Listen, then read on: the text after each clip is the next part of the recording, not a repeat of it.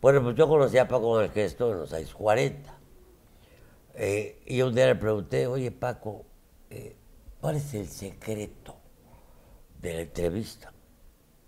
Yo lo escuchaba, como entrevistaba a la gente. Me dice, mira, el secreto está en no entrevistar, sino en platicar. Tú platica con la gente, no trates de entrevistarla. Si tú empiezas a platicar, pues van a salir cosas muy interesantes cuando, llevas un esquema ya de, entrevistador. Pues es muy rígido, ¿no? Es, muy frío. En cambio, lo que él hacía eh, era muy, eh, muy natural. Es lo que tenía Paco. Bueno, te estoy hablando de Paco Malgesto. Ahora, de otro que fue gran amigo mío, Pepe Alameda. Es un hombre de cultura extraordinaria de conocimientos taurinos sensacional, poeta.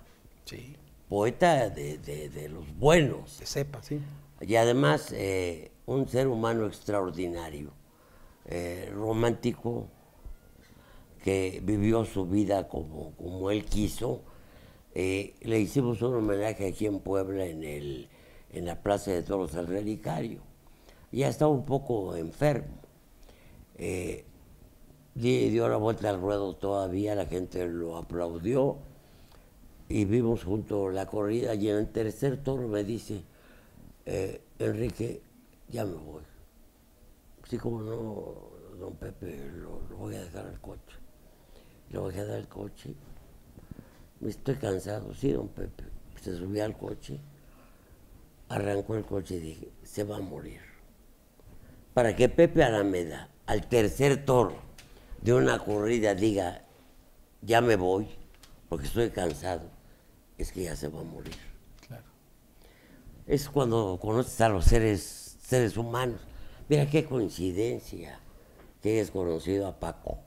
Yo me hice locutor por ellos. Le decía que yo seguía al pie del cañón sus transmisiones de radio, eh, sus corridas de toros maravillosas. te, ponían la corrida en otra dimensión y la verdad es que por, realmente por Pepe, ¿no? Porque Paco es, de un poquito antes, a pesar de que hicieron mucho, mucho trabajo juntos, este, por Pepe me hice, este, me hice locutor. Yo quería ser cronista taurino como él. Y caí en la radio popular, caí en radio variedades, este, y luego ya me pasé a la música ranchera y, y pues después ya caí en el pop y mire, ahora cando. Ahora, profesionalmente hablando, porque uno tiene que ser profesional, no puedes olvidar a Jacob. No. Jacobo ha sido un maestro. Total. un maestro, es decir, eh, en el periodismo escrito, en la radio y después en la televisión. Claro. Acabas de mencionar a una amiga, eh, cuando la veas dile que le mando un abrazo y un beso, Carmen Aristegui, porque llegó para crear un nuevo estilo de hacer periodismo. No me meto en unas cosas ideológicas, no, no. Yo los veo profesionalmente y ella ha marcado una, una línea distinta a todos los demás. es una mujer muy valiosa. Totalmente. Y bueno, está con nosotros, trabaja ahí en la estación. Em, un buen rato me, tocaba recibir la cabina, imagínese. O sea, ella salía de su noticiario y yo entraba a un programa de entretenimiento que hicimos con Pamela Cerdeira un buen rato y era muy emocionante ver cómo te Vaya paquete que te dejaba. ¿eh? no, no, no, era una cosa... Yo siempre le decía, Carmen, ni te preocupes, tú, yo sabía que me iba a dejar Carrio, entonces le decía, tú, tú despídete cuando tengas que despedirte. Siempre se tardaba sus 8 o 10 minutos, caliente. pero dejaba la audiencia puesta, ¿no? entonces para mí era bien importante. Era una mujer a la que, un ser humano, quitemos géneros, ¿no? Sí. Un ser humano muy valioso, muy valiente. Muy valiente. Y que además hoy en día es, clave en, en la radio y en la comunicación de este país. En este momento hace falta la crítica. Totalmente. En una democracia eh, necesariamente tiene que haber crítica, ¿no? no podemos aplaudir todo ni criticar todo, ¿no? Pues este, Jesse, qué bueno que nos haya visitado Puebla. Eh, nos eh, tenemos un amigo común, Luis Baldonado. Ah, cómo no. Que es bueno, llegó aquí como secretario de Educación, hoy secretario de Gobernación, es un hombre extraordinario. Extraordinario. Como político, 100 puntos. como escritor también, como analista eh, de, de la política, también eh, se le cuece aparte.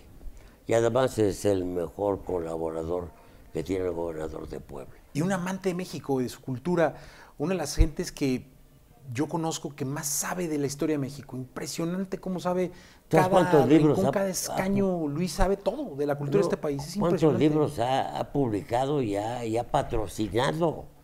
Y ahora está en pos del Museo del, del- del Barroco.